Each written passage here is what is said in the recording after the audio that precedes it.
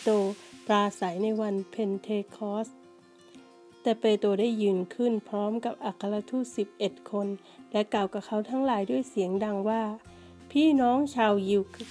กับทุกท่านที่อยู่ในกรุงเยรูซาเล็ม จงทราบเรื่องนี้และฟังถ้อยคำของข้าพเจ้า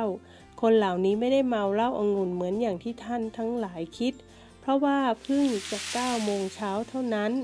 แต่เหตุการณ์นี้เกิดขึ้นตามคำที่โยเอล ผู้เผยพระวจนะกล่าวไว้ว่า พระเจ้าตรัสว่าในวาระสุดท้าย เราจะเทพระวิญญาณของเราบนมนุษย์ทั้งหมด บุตราบุตรีของท่านทั้งหลายจะเผยพระวจนะ บรรดาคนหนุ่มของท่านจะเห็นนิมิต และบรรดาคนแก่ของท่านทั้งหลายจะฝันเห็น แน่ทีเดียวเวลานั้น เราจะเทพระวิญญาณของเรา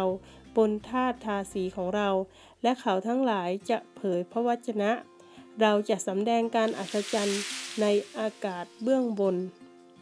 และหมายสำคัญที่แผ่นดิน เบื้องล่างเป็นเลือดไฟและไอควัน ดวงอาทิตย์จะมืดไป และดวงจันทร์จะกลับเป็นเป็นเลือด ก่อนถึงวันยิ่งใหญ่และสง่างามของพระเจ้า และจะเป็นเช่นนี้คือทุกคนที่ร้องขอในนามของ ในพระนามขององค์พระผู้เป็นเจ้าจะได้รับความรอด